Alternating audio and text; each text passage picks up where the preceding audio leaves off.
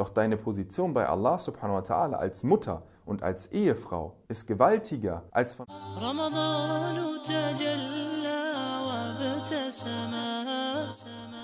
Assalamu alaikum, liebe Schwester. Ja, heute spreche ich ganz speziell dich an und ganz besonders, liebe Mutter. Du weißt, dass der Monat Ramadan etwas ist, was ganz besondere Vorzüge hat. Du weißt, dass dieser Monat so viele Ahadith kennt und so viele Ayat, die ihn, also den Monat Ramadan und seine Vorteile beschreibt. Und du kennst die ganzen tollen Dinge, die man im Monat Ramadan machen kann. Und jetzt fängt dein Kind an zu schreien. Und jetzt hast du eventuell gerade deine Periode. Und jetzt bist du eventuell gerade nicht in der Lage, irgendwie den Koran zu lesen. Bist du vielleicht nicht in der Lage, dich aufrichtig ganz, ganz stark um die Religion zu kümmern. Ganz einfach, weil du hast deine Verpflichtungen. Du hast nun mal bestimmte Verpflichtungen. Das gilt für Männer genauso wie für Frauen. Aber bei Frauen ist es so, dass sie ihre Zeiten nicht so gut regulieren können wie Männer. Deswegen erwähne ich es sehr häufig, dass wir natürlich unsere Zeiten im Monat Ramadan priorisieren sollen, einteilen sollen und natürlich so gut es geht nutzen sollen. Aber gleichzeitig, und es liegt mir wirklich am Herzen, das zu erwähnen, sollten wir nicht zu viel Druck auf uns selbst lasten lassen. Es kommt häufig vor, dass Schwestern vor allem sich gegenseitig wieder mal mit anderen vergleichen. Die drei Probleme des Vergleichens sind in drei Kategorien aufgeteilt. Erstens das Vergleichen mit dir selbst, wie du letztes Jahr gewesen bist oder vor drei Jahren. Zweitens das Vergleichen mit einer anderen Person. Und drittens das Vergleichen mit dem Ziel, wo du gerne hinkommen möchtest. Das letztere könntest du vielleicht als Abgleich und nicht als Vergleich nennen, aber es passt in diese drei Kategorien. Also gehen wir mal auf den ersten Punkt ein, der dir zu viel Druck macht. Punkt Nummer eins ist, du vergleichst dich mit deiner selbst vor zehn Jahren, vor fünf Jahren, vor drei Jahren und du sagst, boah, subhanallah, damals bin ich viel stärker gewesen im Glauben, da habe ich viel mehr geschafft, ich habe den Koran dreimal im ganzen Ramadan gelesen und jetzt schaffe ich gar nichts mehr. Liebe Schwester, vor allem, liebe Mutter, Schau einmal, dass deine Situation, in der du dich jetzt befindest, eine ganz andere ist als die, die du vor fünf Jahren hattest. Dort hattest du vielleicht noch keine oder weniger Kinder. Dort hattest du vielleicht noch keinen Ehemann. Dort hattest du nur dich und deine Schule oder nur dich und dein Studium. Es war vielleicht alles einfacher für dich. Oder du befindest dich in der Situation, wo du jetzt das erste Kind bekommen hast und vorher hattest du gar kein Kind. Das zweite Kind, vorher hattest du nur ein Kind. Natürlich ist es einfacher gewesen, als du noch viel mehr Freizeit hattest. Und ja, jetzt ist der Zeitpunkt, wo du bereuen solltest, die Zeit nicht genutzt zu haben. Allah subhanahu wa ta'ala sagt, إِذَا جَاءَ نَصْرُ اللَّهِ وَالْفَتْحِ وَرَأَيْتَ النَّاسَ يَدْخُلُونَ فِي دِينِ اللَّهِ أَفْوَاجًا Wenn der Sieg kommt von Allah subhanahu wa ta'ala und du siehst, wie die Menschen in Scharen der Religion beitreten, was machst du dann?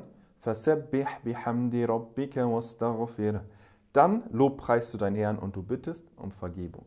Warum bittest du um Vergebung? Weil jetzt kommen sowieso alle zum Islam. Alle treten dem Islam bei.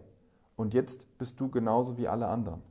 Vorher war es vielleicht so, du hattest noch viel Zeit, du hattest ganz viele Möglichkeiten und du hast sie nicht so gut genutzt. Und jetzt bist du in einem Zeitpunkt, wo du keine Zeit mehr hast. Jetzt kommt der Zeitpunkt, wo andere dich überholen. Von rechts, von links überholen, weil sie vielleicht keine Kinder haben, weil sie vielleicht keinen Ehemann haben und so weiter. Aber sie überholen dich lediglich, augenscheinlich. Doch deine Position bei Allah subhanahu wa ta'ala als Mutter und als Ehefrau ist gewaltiger als von einer Studentin, die nichts zu tun hat und den Koran liest. Ja, eine Mutter, über die der Prophet sallallahu alaihi wasallam sagte, dass sie dreimal mehr Anrecht hat und dann kommt der Vater. Die Mutter, über die so viel Gutes gesagt wird, die, wenn sie eine Ehefrau ist, die im Wohlgefallen ihres Mannes war, dafür das Paradies bekommt. Subhanallah, du kannst das Paradies bekommen, indem du eine gute Mutter bist. Du kannst das Paradies bekommen, indem du eine gute Ehefrau bist. Du kannst diese Stufe erreichen, das Paradies, ohne den Koran auswendig zu können.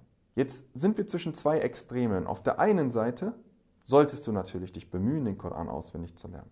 Auf der anderen Seite hast du aber auch deine Verpflichtungen. Und diese Verpflichtungen können dich ins Paradies bringen. Das darf man nicht vergessen.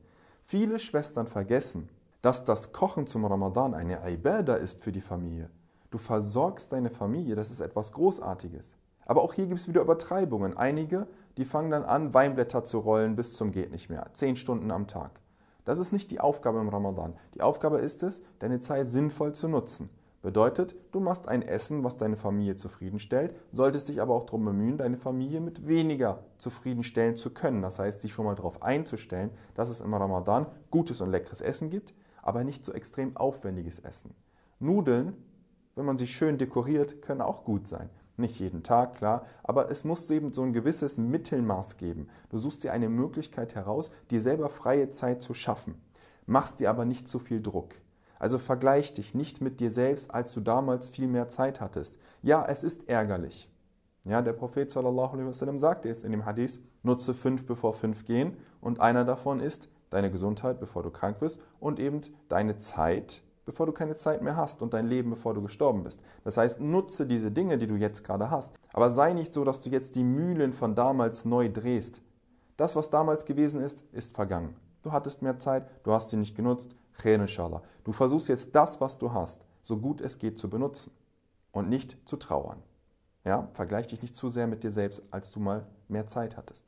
Aber wenn deine Situation eins zu eins dieselbe ist wie damals, dann sollte das ein Ansporn für dich sein. Beispielsweise bist du Studentin letztes Jahr gewesen und du bist jetzt auch Studentin, hast keinen Mann und keine Kinder und auch keine weiteren Verpflichtungen, wie zum Beispiel dein Ehrenamt in irgendeiner Arbeit oder so. Dann solltest du gucken, oh krass, woran liegt es, dass ich letztes Jahr so viel besser war als dieses Jahr? Dann ja, aber setzt dir auch dann nicht zu viel Druck. Also wir merken wieder dieses typische Beispiel von zwei Extremen.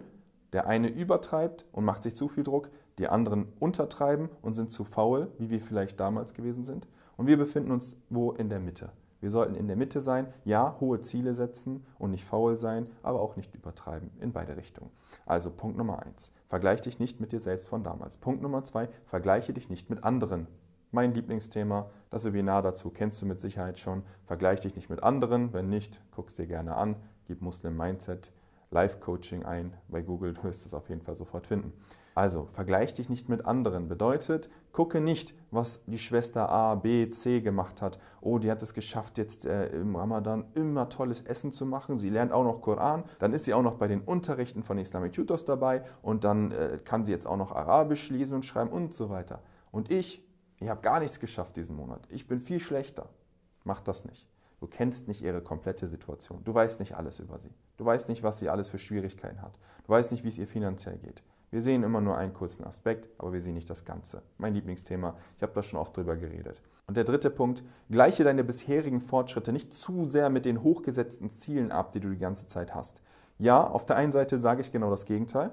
Und zwar, was Omar radiallahu gesagt hat, rechnet mit euch ab, bevor mit euch abgerechnet wird. Also guck jeden Tag, bist du an deinem Soll, hast du das geschafft, was du schaffen sollst und so weiter. Das ist richtig, genau das sollst du auch machen. Aber auch hier wieder nicht übertreiben. Wenn du merkst, hey, das schaffe ich einfach überhaupt nicht, dann setz die Ziele runter und bereue es nicht. Sag, okay, kein Problem, ich schaffe vielleicht die 99 Namen diesen, diesen Monat Ramadan nicht, dann lerne ich 66 Namen und 33 einfach später, einen Monat danach. Gar kein Problem. Setz die Ziele ruhig mal ein bisschen, bisschen runter, wenn du merkst, der Druck ist zu krass. Also, wo ich doch sonst immer einer bin, der hohe Ziele fordert, bin ich manchmal auch jemand, der merkt, dass Leute sich überfordern. Ja, es gibt Leute bei dem Rad des Lebens, das man zeichnen soll, die, äh, die, machen, die zeichnen dieses Bild einfach nicht, weil sie sagen, Tari, ich habe keinen Zirkel gefunden. Ja, subhanallah, dann mal halt einen Kreis, der nicht perfekt rund ist. Das ist nicht das Problem. Setz einfach um, komm in die Umsetzung. Lass dich nicht irgendwie beirren, dass du perfekt sein musst und so weiter. Ja, wir streben nach Ihsan, wir streben nach dieser Perfektion, aber es muss nicht heißen, dass wir dauerhaft perfekt sind. Ja, und das muss auch nicht jetzt im Monat Ramadan dein Ziel sein. Wenn du es schaffst, regelmäßig zu fasten, deine Pflichtfasten einzuhalten, wenn du schaffst, deine Pflichtgebete einzuhalten, wenn du schaffst, als Mutter für die Kinder da zu sein, wenn du schaffst, als Ehefrau für den Mann da zu sein, Alhamdulillah, das ist viel. Und alles darüber ist gut und wir freuen uns darüber. Und das Ziel sollte Jannatul Firdaus al-A'la sein, die höchste Stufe des Paradieses. Aber nicht so viel Druck. In diesem Sinne, ich hoffe, dass ich dir den Druck ein bisschen rausnehmen konnte, ohne deine Motivation wegzunehmen. Das ist eine Schwierigkeit gewesen, die ich mir vor, dem Ziel, vor diesem Video als Ziel gesetzt habe. Und ich hoffe, dass es geklappt hat. Möge Allah den Fasten annehmen. Salam.